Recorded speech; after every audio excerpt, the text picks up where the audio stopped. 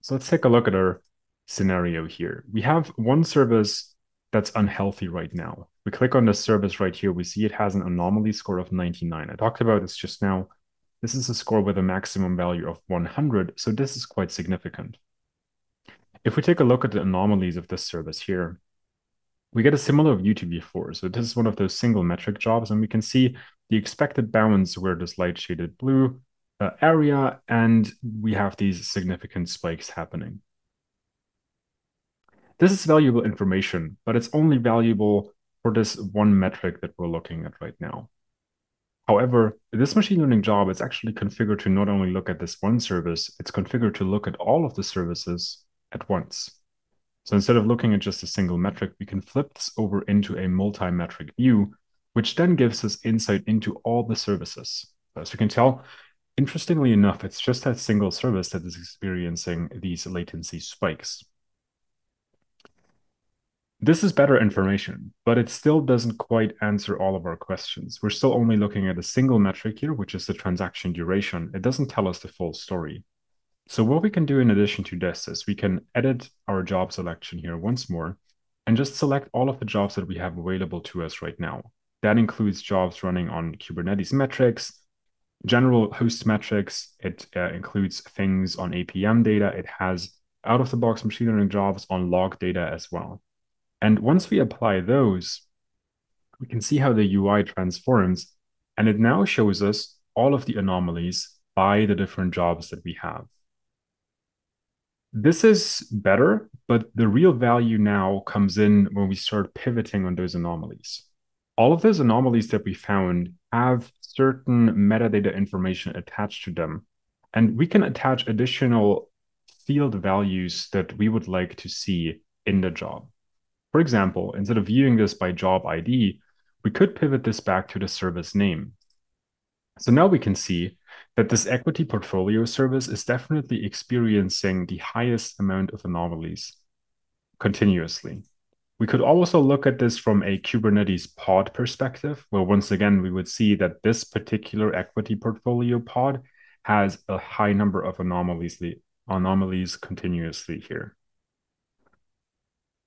Another thing that we could then also do is if I just switch this back to service name, we can start to drill down into those anomalies. So let's select this red range here where things look pretty bad overall and scroll down.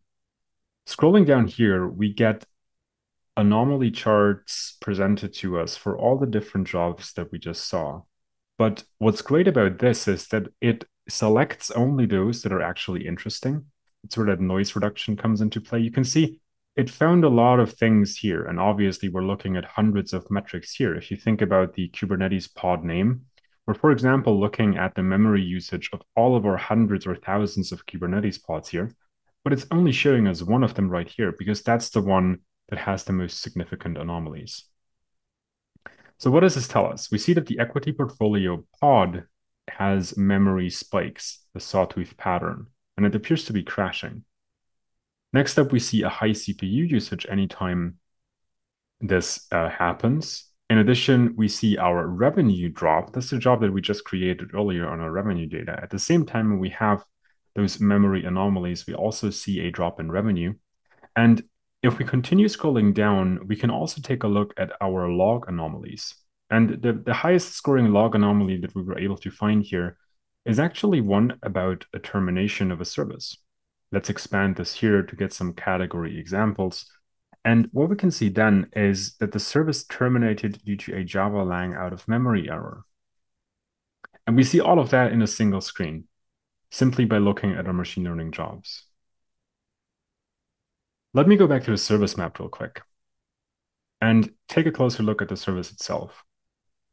If we take a look at the service, we see a few interesting things at first glance. We see that just when these anomalies started to spike, we had a new version deployed of the service.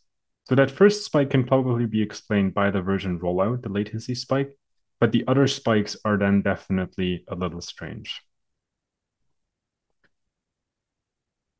Let's look at our logs again. Logs are really important the way I like to say, or I like to see it, is that you can use metrics to identify something strange that's happening. but logs will always have the real truth in them. Logs will be able to tell you what exactly happened. So let's look at those.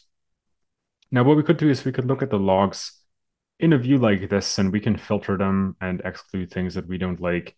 But there's a lot of logs here. It could be millions or billions of log lines. We don't want to look through those manually. So we're going to make use of that same machine learning job again that we've seen earlier. Looking at our anomalies here, we get those broken down by the service. And we can see that the two services that are the most anomalous right now are the equity portfolio service and also the front end service. The front end service is probably showing up here since it's talking to the equity service. So that kind of makes sense. If I switch this over into categories, we can get a closer look at the categories that were identified by this job. The categorization here is automatic. We just need to point this machine learning job at our logs, and it's able to identify these categories for us. We don't have to tell it that we have logs like this. It's just automatically coming up with a regular expression to match those. And once it has a category identified, it will then continuously keep track of that category. Or as was the case here, it saw something that it hasn't seen before that's of significance.